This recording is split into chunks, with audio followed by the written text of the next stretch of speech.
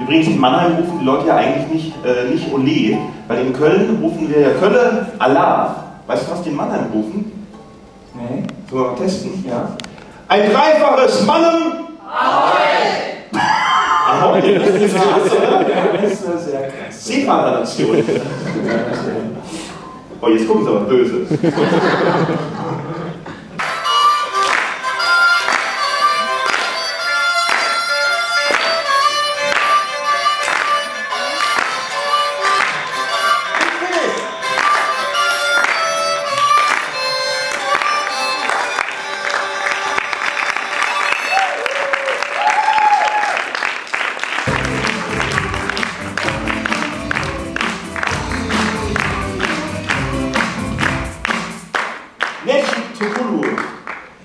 Äh, du, äh, in der Türkei waren ja jetzt gerade Wahlen, ne? Ja, ich war da. Hast du gewählt?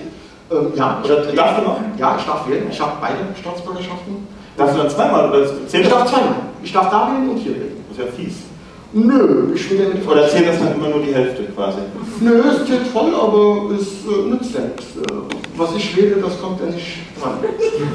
aber die in der Türkei, die haben jetzt was Tolles geschafft. Also die haben schon mal was Tolles geschafft. Vor zehn Jahren haben die einmal das ganze Parlament rausgewählt. Ne? Da wurde keine einzige Regierungspartei kam nochmal ins Parlament und die gesamte Opposition kam rein. Und jetzt haben sie was noch Besseres gemacht. Äh, haben, äh, haben ja auch, äh, das, das, liegt aber daran, dass die ja auch äh, 10% Hürde haben. Genau. Ne? In, Genau. Ja. Also, Also, fast, also die FDP gibt es da nicht. gibt's, hat überhaupt Existiert nicht. gar nicht. Ja. Also es soll auch seine Guten sein. Nun, ähm, die haben fünf Leute gewählt, die im Knast sitzen. Ja, die sind Jetzt?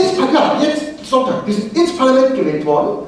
Und das ist so die Berlusconisierung der türkischen Politik. Ne? Also wir wählen nicht die, die im Knast gehören, die wählen schon die, die schon drin sind. Ja, die, die überholen Europa. Ja? Ja? Ja, und da habe ich mir auch gesagt, also wenn der Jörg Kachelmann das noch ein bisschen ausgehalten hätte mit seinem Willi da im Knast, der wäre jetzt im türkischen Parlament. Ne? Ja? Hätten, sie, hätten die Liberalen schöne Anzeigenkampagne machen können. Free Willi. Kachelmann, der Frauenbeauftragte der FDP. Ist der Kameramann bei der FDP?